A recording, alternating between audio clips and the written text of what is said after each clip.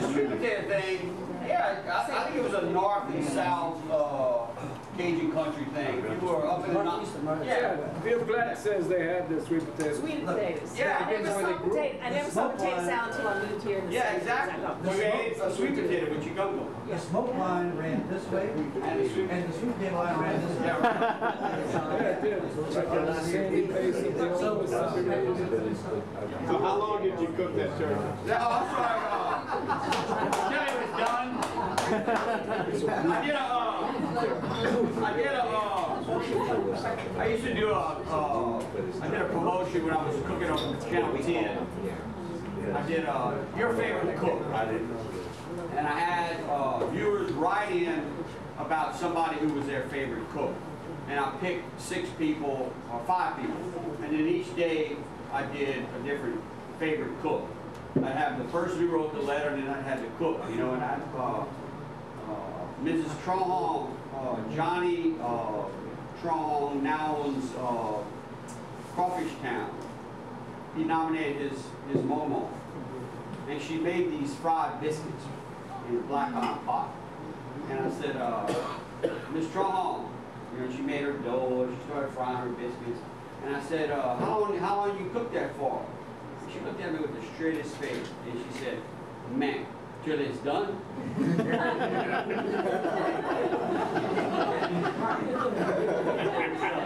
But in this case, you want to cook the turkey for about three and a half minutes per pound. And you want to try to keep the temperature at around the 325 degree range. Uh, and I like to bring it up, yeah, this one's really, this is around 165, 170, because as it sits, you want to let it sit for a little while also. Check this recipe. Like an hour or two, right? Yeah, like, no, about 45 minutes. And um, My gumbo's ready. because what you want to do is you want, and this is with any meat, whether it's a roasted turkey or a roasted pork roast or a fried turkey, you want to let it sit for 15 minutes or so because the juices are flowing in the, the juices are still cooking, so to speak. They're still moving around. The meat is still in the process of cooking. And if, if you cut it too soon, all your juice is going to run out. So you want to let any uh, meat, like I said, tenderloin, pork roast, uh, a roasted chicken, let it set for about 15, about 10 to 15 minutes. But in this case, we might make an exception. Y'all are looking at me like I'm kind of like, God. Enough already, Jim. Are muscadines related to uh, poison ivy? Why when you eat a bunch of muscadine, like you- my lips always turn like numb? They- I don't know, I I, I, I- you know, very few things I don't like, and muscadine is high on the list. High on the list. I'll eat anything at least Oh no, I just eat them. I eat them and spit out the. pe- I mean, I spit out the But they're peelings. not, uh, That's class. what? Class. Boss Claus? Um, how we wanna do this? Um, yeah, you got a question? I mean, I just a statement. When I was growing up, there was a little pickup truck from Pointe Coupee Parish. He'd come around once a month with some frozen fish. Mhm. Gar, uh, choupique, whatever it was. Mhm. My mom would buy, and so we'd eat fish once a month. And she never cooked her chicken with, mixed with seafood.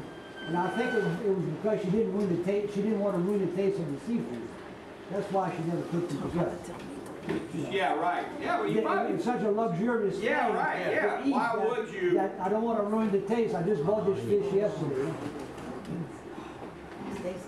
Right, let's go. I was like, bruh. And we also, we also by the way, we also include catfish and crawfish as seafood. They're not actually sea, Right. they're freshwater.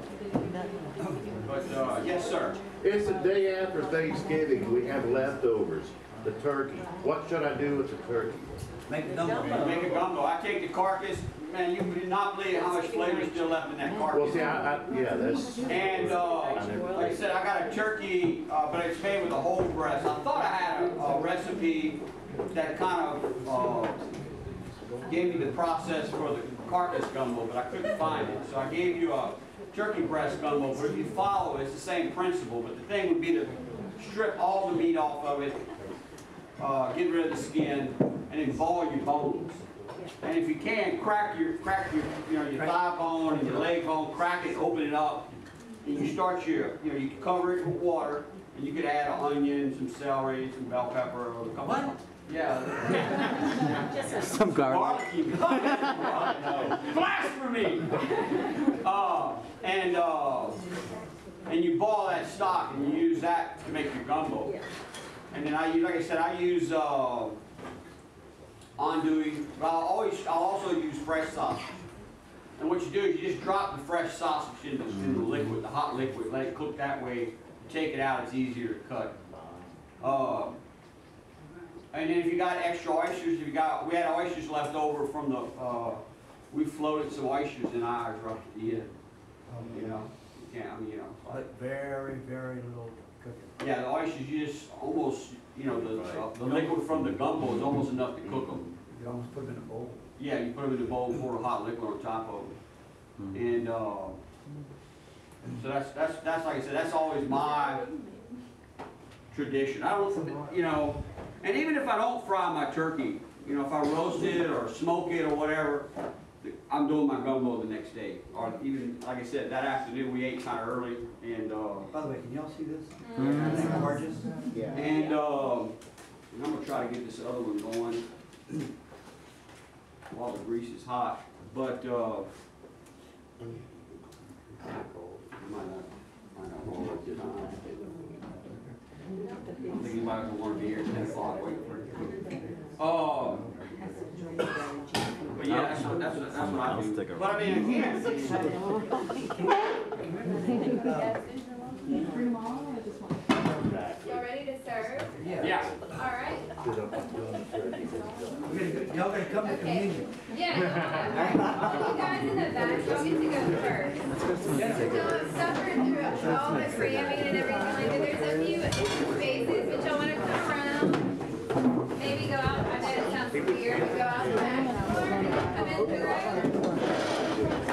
guys in the front. Yeah, I know, right?